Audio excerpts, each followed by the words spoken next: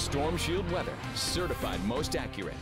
As we moved on into our Easter weekend, we're starting off with mostly sunny to partly cloudy skies right here in the Tulsa area. We're not tracking any rain locally, but off to the north and west of us, still seeing a few isolated showers in parts of north central Oklahoma up around Enid and Ponca City this morning. Now, as we move through the morning hours, there will be a slight opportunity. One or two of these showers could make it into parts of northeast Oklahoma, especially north and west of the Tulsa area from Pawnee through Osage, Washington, Nowata counties.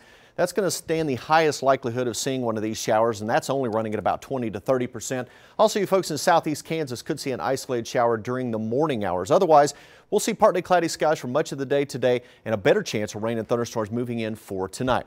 Well, here's another look at Ruby the red-tailed hawk, and again, she is enjoying the weather this morning, nice and mild with temperatures in the 60s, but once again, it's going to be another windy day here in eastern Oklahoma. We're at 67 officially. Look at that south wind, already up to 16 miles per hour with some higher gusts. Humidity level 76%, so it is a little muggy out there this morning, and we're going to keep the muggy conditions going right on through the day. We're at 67 in Owasso, over to Claremore, we're setting at 66 in Inola, 66 in Broken Arrow. Out to the west, temperatures generally in the mid to upper 60s from Prue and Sand Springs down to Sapulpa. The rest of eastern Oklahoma, we're in the 60s, already approaching 70 degrees in a few spots, 68 now in Eufaula. We're setting at 67 in Bristow, 66 this morning out in Oklahoma City. And off to the east of us as we move toward the Arkansas line, temperatures generally running in the lower 60s right now. Tahlequah at 63 degrees. Winds generally out of the south at 10 to 20 miles per hour. We're seeing a 17 mile per hour wind right now at Okmulgee, also at Joplin, and a 20 mile per hour breeze at Enid. Some of the wind gusts, some of these latest gusts out there, 25 to 30. Notice a 25 mile per hour gust at Bristow, also here in the Tulsa area. Okemah, a 27 mile per hour gust. We will see some of these gusts 35, maybe up to 40 miles per hour off and on throughout the day. So another warm and windy day across eastern Oklahoma.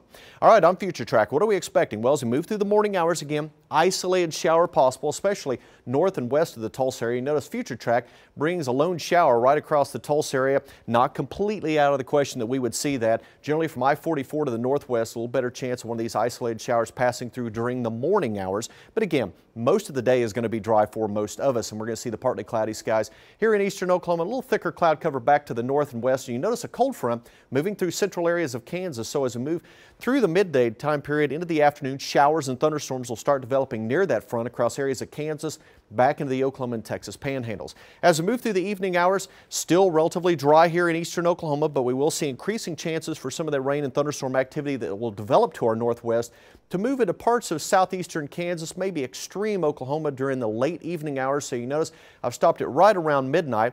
Best chance of showers and thunderstorms during the evening and overnight hours will initially be across areas of southern Kansas and out to our west. But as we move through the overnight itself, as this cold front moves a little bit closer, we'll see increasing chances for showers and thunderstorms here in Oklahoma. So a 20% opportunity through the evening. We'll bump that up to a 50% chance overnight tonight, and then a good chance for showers and thunderstorms around the area tomorrow morning at 70%.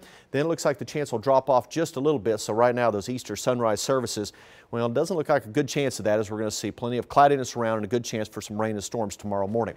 And then as we move through the overnight hours tomorrow, we're going to see more showers, more thunderstorms developing and pushing into the area. What about severe weather risk for today? Highest risk of severe weather mainly across Kansas, back into western Oklahoma. A couple of those thunderstorms later on tonight could be marginally severe, especially north and west of Tulsa. Some gusty winds and maybe some small hail in most of the storms, but we don't expect much in the way of any severe weather here with any storms later on tonight.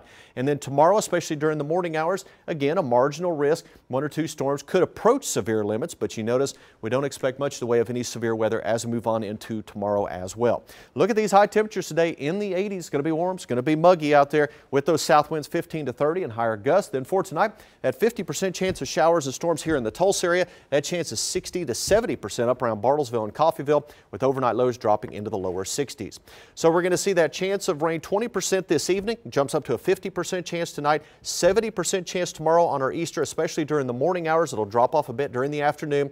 This is moving to Sunday night and Monday morning. Another good chance for rain and thunderstorms moving in. That'll taper off a bit as we move through Monday. Then just slight chances for Tuesday, Wednesday, and Thursday. More rain and more thunderstorms on the way for Friday. So you notice we'll kind of an unsettled pattern here right. where at least we have a chance of rain each and every day here over the next six or seven days. So I may need an umbrella tomorrow for the Easter egg hunt. I think you're definitely going to want to keep one with you because we may not need it all day long, but especially during the morning hours. Unfortunately. Unfortunately, All yes. right, thank you, Taft. Breaking news this morning.